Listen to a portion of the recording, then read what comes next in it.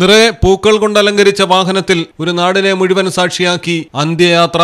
പ്രിയപ്പെട്ടവരെല്ലാം ചുറ്റിനും വാഹനത്തിനു മുന്നിൽ കൊട്ടുംപാട്ടുമായി സംഘം അകമ്പടിയായി കണ്ണീർ പോലെ മഴ പെയ്തിറങ്ങി. പ്രിയപ്പെട്ട ഉടമയുടെ കയ്യിലേറി അവൾ ചുടുകാട്ടിലേക്ക് യാത്രയായി. ഈ ചടങ്ങുകളെല്ലാം നടത്തിയത് ഒരു നായ്ക്കു വേണ്ടിയായിരുന്നു. ഒഡീഷയിലാണ് ഈ സംഭവം. ഗവിടെ എന്ന വ്യക്തി തന്റെ വീട്ടിൽ പതിനാറ് വർഷത്തോളം കാലം ഒരംഗത്തെ പോലെ വളർത്തിയ പെണ്ണായാണ് മരണപ്പെട്ടത്. അസുഖബാധിതയായപ്പോൾ ജീവൻ രക്ഷിക്കാൻ ഡോക്ടർമാരുടെ വൻ സംഘം അവസാന നിമിഷം വരെ ശ്രമിച്ചു. തുടർന്നാണ് ഈ വിപുലമായ സംസ്കാര ചടങ്ങുകൾ നടത്തിയത്.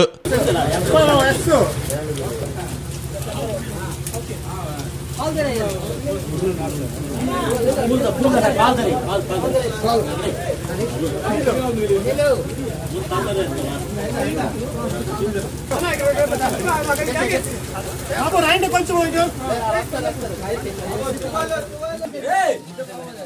ఏదో పాడేయండి రే ఏదో పాడేరే ന്യൂസ് ഡെസ്ക് മലയാളം ടെലിവിഷൻ